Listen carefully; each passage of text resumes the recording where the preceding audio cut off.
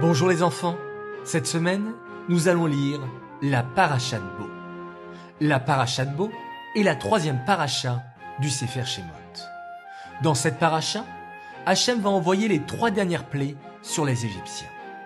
Comme Paro ne veut toujours pas renvoyer les béné Israël d'Égypte, Hachem envoie la huitième plaie. Arbé, les sauterelles. Une armée de sauterelles envahit l'Égypte et mange tout feuilles des arbres et leurs fruits, les légumes et les récoltes des Égyptiens. Elles sont si nombreuses qu'elles cachent la lumière du soleil. Paro supplie alors Moshe de faire partir les sauterelles. Mais ensuite, Hachem durcit son cœur et il refuse de faire partir les béné Israël. Ainsi, Hachem envoie la neuvième plaie, Rocher, l'obscurité. Il fait noir dans les maisons des Égyptiens et il y a de la lumière dans les maisons des Juifs. Les Égyptiens ne peuvent ni s'asseoir ni bouger et ils entendent de drôles de bruits, des portes qui grincent, des tiroirs qui s'ouvrent. Ce sont les béné Israël, entourés d'une lumière spéciale, qui viennent regarder les trésors des Égyptiens. Car avant de quitter l'Égypte, Hachem va leur ordonner de prendre avec eux toutes les richesses d'Égypte. Paro ne cède toujours pas. Il se met très en colère contre Moshe, qui le met en garde contre la dixième plaie. Hachem ordonne à Moshe Rabbeinu, dit au béné Israël de prendre un agneau et de l'attacher au pied du lit pendant trois jours pour vérifier qu'il n'a pas de défaut. Et le quatrième jour, les Juifs devront prendre cet agneau, mettre son sang sur les linteaux de leurs portes et manger cet agneau en Korban Pessah, sacrifice de Pessah, accompagné de matzot et d'herbes amères. Hachem explique la future fête de Pessah à Moshe.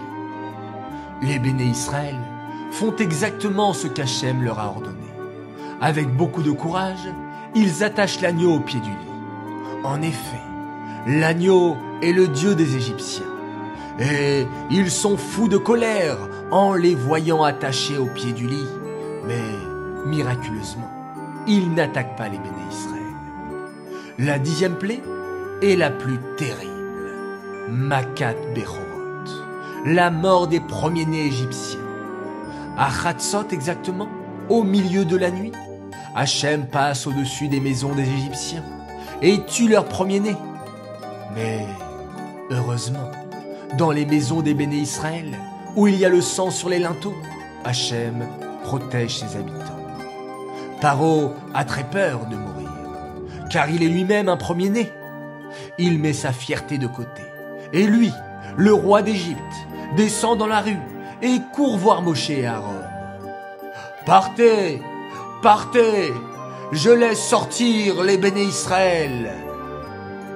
Le matin, les béné Israël sont prêts à partir. Les Égyptiens les pressent de partir car ils ont peur de tous mourir.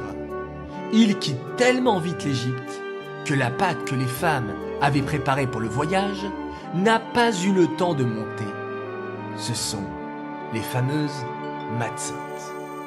Telle fut la confiance que les béné Israël eurent en Hachem pour partir si nombreux et sans provision dans le désert.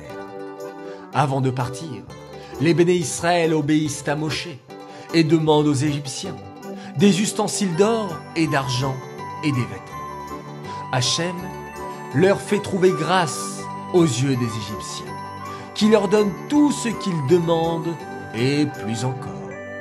Les béné Israël quittent l'Égypte en emmenant toute la richesse du pays.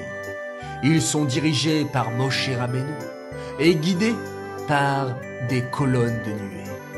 Ils sont très nombreux et beaucoup d'Égyptiens impressionnés qui se sont convertis les suivent.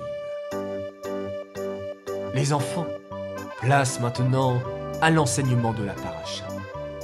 Dans le Sefer Bereshit, le Sefer précédent, Hachem avait promis à Abraham que ses descendants seraient exilés dans un pays étranger, mais qu'ils sortiraient avec de grandes richesses. Pour que ce soit possible, le Midrash explique que pendant la plaie des ténèbres, de l'obscurité, les béné Israël rentrèrent dans les maisons des Égyptiens, et une lumière entrait avec eux, et éclairait pour eux tous les vases d'or et d'argent, et les vêtements, même ceux qui étaient dans les armoires ou dans des cachettes. Ainsi, quand les béné Israël partirent d'Égypte, ils demandèrent aux Égyptiens de leur donner leurs biens, et s'ils essayaient de dire qu'ils n'avaient rien, ils pouvaient dire non. Je sais que tu as cela et cela dans telle et telle cachette.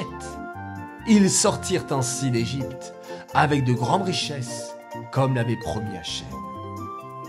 Cela doit être un grand encouragement pour toi et pour nous tous. Vois-tu, cher enfant, Hachem nous demande de le servir. Mais en compensation, il est prêt à nous aider pour que ce soit possible, sans aucun empêchement, quitte à faire des miracles dévoilés.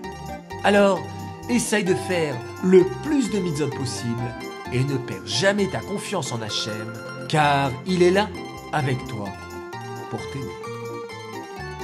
Merci les enfants de votre écoute. Je vous souhaite Shabbat Shalom.